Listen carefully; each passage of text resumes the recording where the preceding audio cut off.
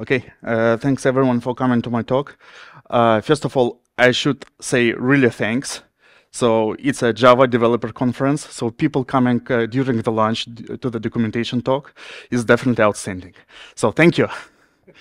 Yeah, my name is Oleg Nenashev. I am a tools hacker. Uh, I've started my career with Jenkins. I'm now a community builder at Gradle, and I work as FOSS and DevRel consultant.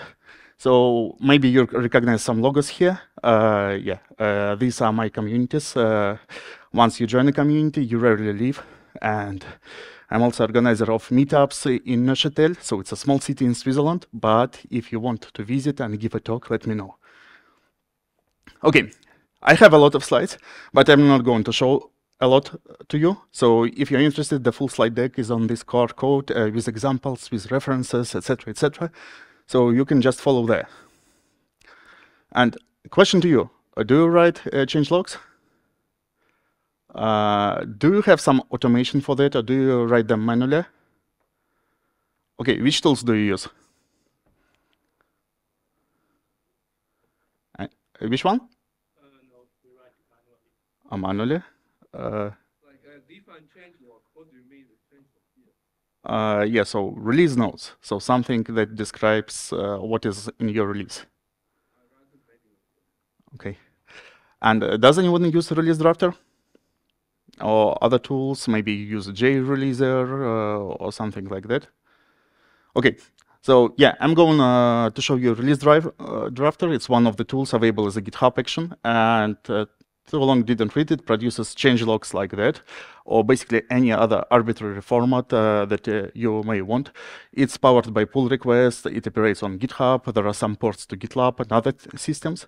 But basically, the approach is it takes your pull requests, uh, labels, etc., and crafts change logs from them.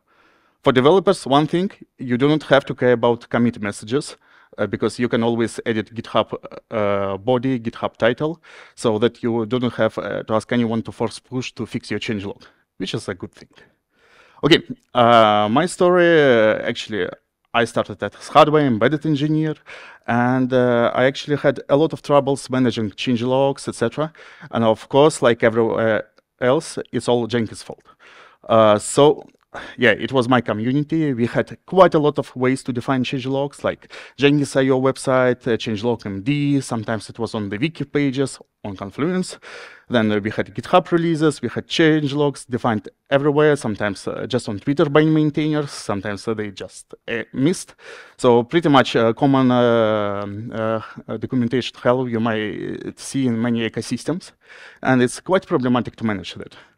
So for our users, it was a big problem. Uh, if you have ever used Jenkins, you probably know that uh, sometimes it's difficult to understand what changed in the plugins. Uh, Jenkins is all, uh, is all about plugins, so you may have hundreds of them.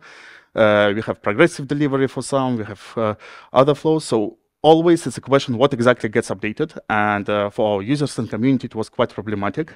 And also it was quite problematic for developers because we were coming to them asking, uh, so what changed there, etc. And we also had no answer uh, sometimes. Uh, and it was a big problem for the community. And actually me as one of community managers and DevRel also there, I actually tried to fix that. And my first try was quite common. Maybe you saw this in these companies. We asked developers and maintainers to write change logs. And we, of course, documented how it's better to do. And of course, it was a royal mess because nobody really wanted to spend their time on that. I'm no exception, so I totally understand how it can be like that. And for me, yes, it became a bigger problem because I committed on this initiative, improving user experience and documentation uh, for our end users, for core plugins, and I needed to do something more. Of course, uh, yeah, it was my assignment afterwards. And yeah, I don't like to write change logs on my own, especially for thousands of plugins. So I came to a conclusion that we need some kind of automation that would be portable, uh, generalizable, and that can be accustomed to needs of our maintainers. So this automation uh, would be quite custom. And in Jenkins, what we did, uh, instead of all this mess, of course, we decided to create a new tool for that. But uh, good news is that uh, there was an existing tool called uh, Release Drafter, and uh, we were able to centralize almost all our changelog uh, via GitHub releases and this tool. So basically, we have GitHub release, we still have changelog MD, but sometimes it's synchronized with GitHub releases, and Jenkins website basically uses GitHub releases as a source, and then we uh, do some manual copy editing to have fancy changelogs. So yes, this is a release drafter, and from here, I have a lot of slides, but I'm not going to show them. Uh, I think you rather prefer something uh, in the web uh, browser uh, for real, right? So who does use GitHub? And others? Okay, so basically it's portable to other approaches as well. Let me zoom in a bit. I usually operate on 34 inch display and I just moved to MacBook, so I will be. So yeah, uh, there is release drafter, and release drafter is a GitHub action. So you can just configure it in every uh, GitHub workflow, whether you use GitHub Enterprise or GitHub.com. And uh, it's configurable like that. You just say, I need a uh, release drafter uh, that would be watching uh, my branches. So here we have still master and documentation. You can see some, there are some advanced uh, configurations, but ultimately this is what you need to just define a target. Then you grant some permissions to release drafter because it will be modifying your release notes. And this is a basic step that just uses GitHub uh, token and connects to your repository. After that, uh, the magic starts. So for example, in Gradle, we also use uh, release drafter. Uh, so we have a few projects, and one of them is Gradle Profiler. So what happens here? Uh, if you navigate to Gradle Profiler, you can see releases. Uh, so it's basically release notes, which may look quite familiar, and yes, they're generated by release drafter. So how it happens, uh, we have a number of pull requests, and each pull request gets closed. And uh, once they get merged, we trigger a release drafter because something got pushed uh, to the main on the to the master branch, and there are enhancements, bugs, internal, and this is basically maps uh, to our changelog uh, by label. So it's easy way to actually uh, do initial mapping and already categorize some changes you deliver. And you can always automate this part. Then uh, how it actually works on the hood, uh, under the hood. As I said, there is a GitHub action. Um, and if you, we go to .github folder, here you have uh, workflows. And uh, there, well, somewhere there should be release drafter here. Oh, it still uses GitHub app. So it's uh, obsolete service, but in modern uh, it would use a release drafter uh, YAML with the file I presented. And it also has configuration file that actually defines what I want to do. So here I say that uh, there is our naming template. So by default it uses uh, semantic versioning, but you can have other versioning templates up to four digits. Then uh, we categorize how we map uh, labels to titles. you can have multiple labels. You can skip some labels, for example, if you revert the change, etc. So it's also automated uh, through labels, and you can customize uh, your changelog template if you need. So it's a very basic configuration, and it actually gets you this uh, simple changelog. So if you need, you can have a lot more advanced features, but what I can show you is how we actually use it at scale uh, for Jenkins. So if you maintain multiple projects, of course, you don't want to have uh, configurations in multiple files, etc. And instead of that, with the release drafter, you can actually do a lot of customizations. So here, it's a Gradle plugin for Jenkins. It uses, I hope, a common uh, ecosystem. So here in workflow, we has, have release, uh, release drafter. So it's basically very simple configuration we include here. We could have enabled it by default for all the repositories, but for now, we still do it opt-in. And here's our configuration. And here you can see that the configuration actually has two lines because all the code is actually located elsewhere. So on organization level, we have uh, um, uh, a part of definition. So if you're familiar with GitHub ecosystem, there is Probot. It's a framework that allows to manage configurations on organization scale too. And we actually have it unified um, for all plugins that want use to, uh, to use that. So there is some documentation we also include uh, in our site. And there is global configuration that we use. So here, is it big enough? Mhm. So here what you can see is basically our Jenkins default. So in Jenkins, we don't follow, follow uh, by default for better or worse. So we use this format, but again, you can override it in the downstream config. Then we have a number of uh, uh, labels that we define, for example, break and change, uh, um, uh, removed uh, for breaking changes again, major features, enhancements, etc. Also localization, community. So it's default template we provide. Not all plugins use all the labels. They are free to choose which categorization they can override it. And then uh, we also have some additional things. So for example, um, in uh, Jenkins, here we just put the change log. So we don't have custom template. We just do what release drafter generates. But we apply some regular expressions to actually help our users. For example, Jenkins, for Jenkins core, we still use Jira uh, for issue tracking. So it's not enough for us to just reference GitHub issue. And here, if the pull request title includes uh, Jenkins dash something, we recognize it as issue ID and replace it by the link. Same we do, for example, for security. Uh, we reference to our security advisories. Same we do for Jenkins enhancement proposals. And same uh, we do actually for security issues. So if the CVE is referenced, again, we automatically inject it so that uh, our users can quickly navigate and they already get it uh, through the changelog. So what happens next? Uh, so you can also see that there is some automatic labeling configured. So for example, we automatically can discover documentation related uh, things, uh, fixes, etc. from common templates we recommend to plugin developers. So once you if you follow this pattern, everything is automated. If not, you will get all the flexibility you need. And actually it helps us at scale because this is all you have to configure in the majority of repositories, just referencing that and everything works. We adopted in other projects like WireMock, uh, Gradle, so it's quite handy. And uh, for example, I can show you how it works live. I just need uh, to find a prey for that. So I'm a maintainer of Testcontainers models uh, uh, for WireMock, and I believe that uh, there are some Dependabot pull requests here. Uh, no, I merged everything. So, okay, but then we have a Golang model I have, hope. And again, I merged everything. So this is a problem when you do proper maintenance because uh, eventually you don't have so many things to merge. Okay, let's try. Okay. Best developer practices. Okay, uh, let me find, uh, find something else. For example, we have uh, a Gradle convention plugin. So in WireMock, we use Gradle to actually define common build template for WireMock extensions so that they can follow it. And here I have a pull request. So here, if I go to releases, you can see that release drafter is also configured. So for the next release, we have one documentation change pending.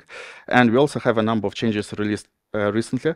So what I'm going to do uh, there is uh, uh, an external pull request for improving creation of standalone jars. So basically, we, some tweaks to shading, etc., so that automatically we can produce artifacts that do not create binary conflicts. So this pull request was re reviewed, etc. So what I'm going to do, I'm going to assign the label. And here, I believe that it's enhancement. Actually, it's a big one. And after that, I click merge.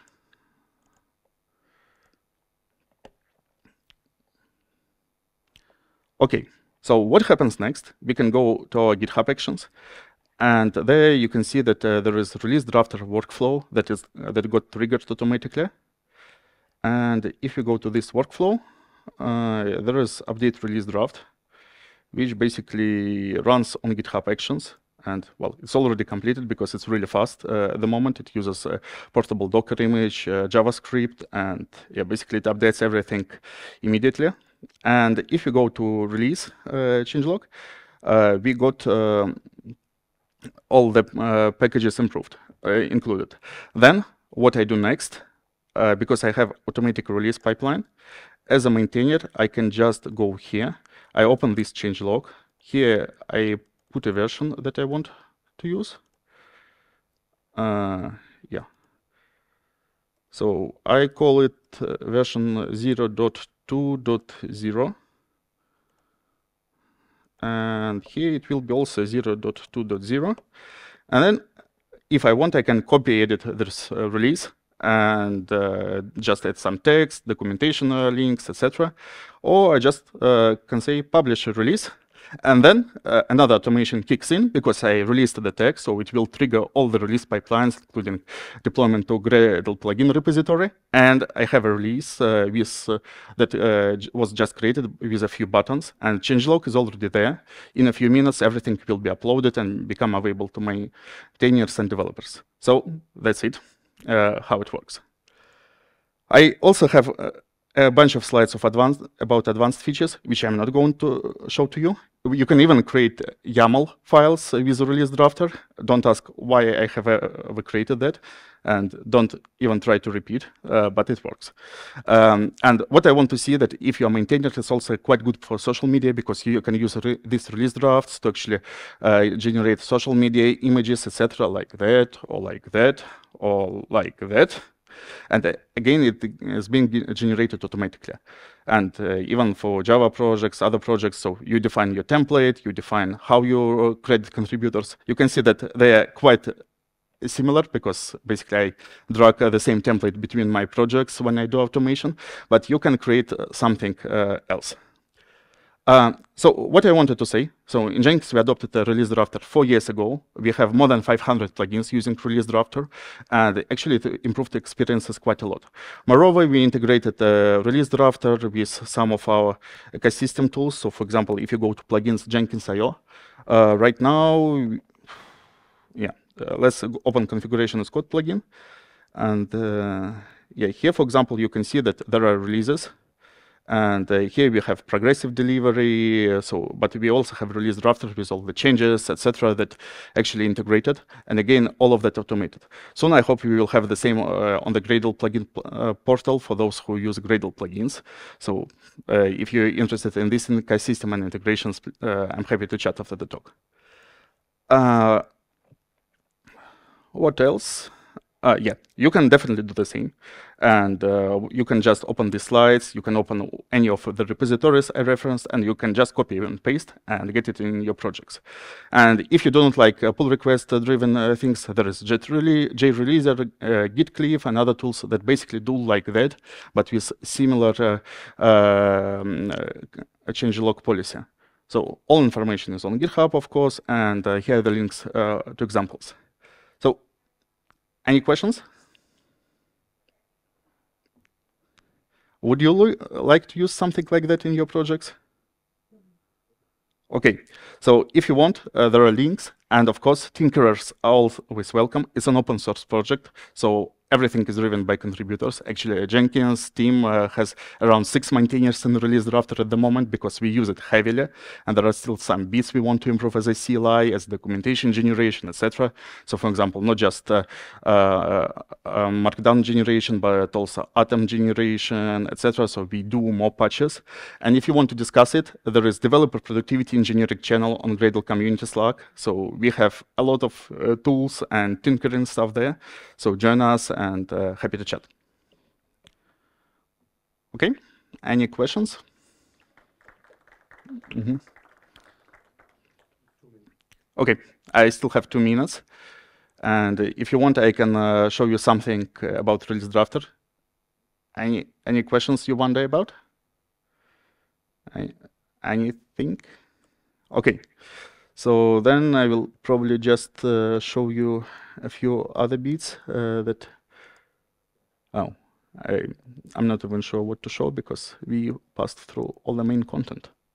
So then I can just give you a few more minutes for the lunch. And uh, thanks again. It's not usual that we have uh, many people at the, these documentation talks, but I really hope that you as developers actually invest some time in documentation and uh, better user experience. Thank you.